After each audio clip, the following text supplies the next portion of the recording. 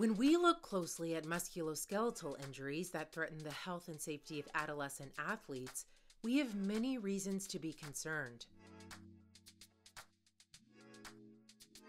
Injuries to the lower extremities or legs, like ACL injuries, ankle sprains, and hamstring injuries, account for almost a quarter of all sports and recreation related injuries. Musculoskeletal injuries can be physically, mentally, and financially devastating for children and their families. Sometimes surgery is recommended, and a return to activity can take up to a year or more for certain injuries. Even more concerning is the fact that many of these injuries can result in osteoarthritis. And most people who develop osteoarthritis will ultimately require joint replacement surgery. But there's good news.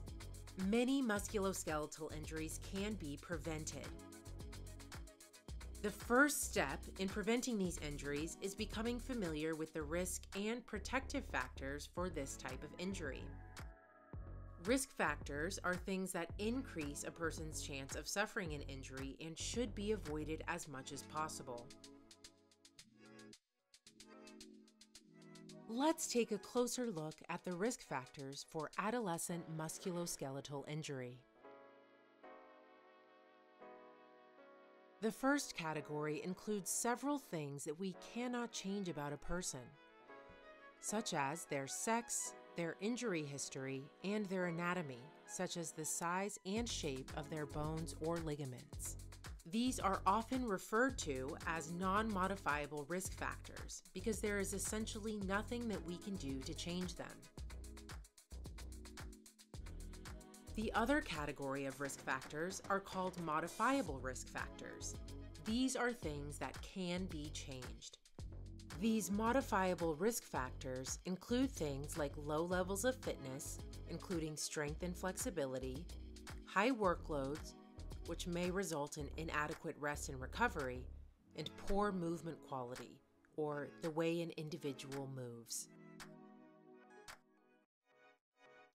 While it's good to know a bit about the non modifiable risk factors, it's more important to focus on the injury risk factors that are modifiable.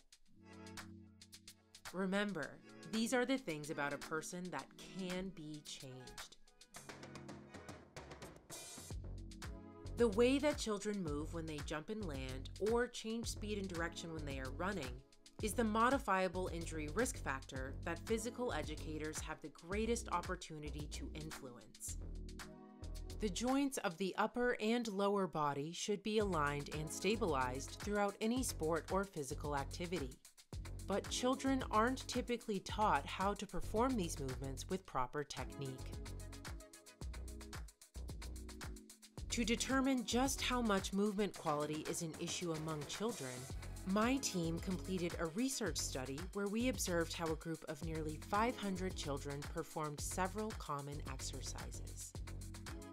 Unfortunately, we found that only 21% of children between 8 and 11 years old, 29% of children between the ages of 12 and 15, and 21% of 16 and 17 year old children were able to perform common exercises like squats, planks, and jumps with proper technique. The inability to perform these types of activities with proper technique is an injury risk factor that can be changed with proper education and training. One of the most common movement quality issues we see in children is something called dynamic knee valgus. Dynamic knee valgus is the scientific term used to describe the movement when the knee joints collapse inward toward each other during activities like jumping and landing or changing direction when running. The photo on the right side of the screen demonstrates dynamic knee valgus perfectly. When someone's knees move into this knock knee position, forces on the sensitive structures like ligaments and cartilage increase significantly. While some athletes are forced into this position by physical contact, many athletes suffer non contact injuries, demonstrated in this example. Movement is an important aspect of everyday life. Proper movement patterns should be taught early in childhood to provide the knowledge and skills that children need to participate in physical activity with minimal risk of injury. Unfortunately, improper movement patterns dramatically increase the risk of injury and limit athletic potential among adolescents. Alternatively, protective factors help to decrease the risk of injury and should be utilized as much as possible. Many sports medicine researchers have demonstrated the significant protective effects of neuromuscular training for adolescent athletes in clinical trials. Over the past 10 years, studies have shown that many injuries can be prevented if athletes perform neuromuscular training programs regularly.